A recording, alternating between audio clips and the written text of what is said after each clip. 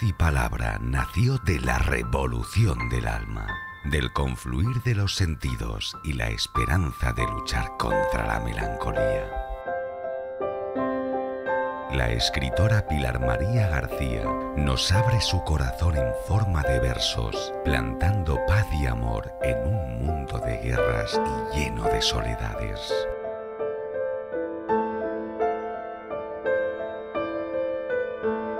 Ya a la venta en libreriacirculorrojo.com.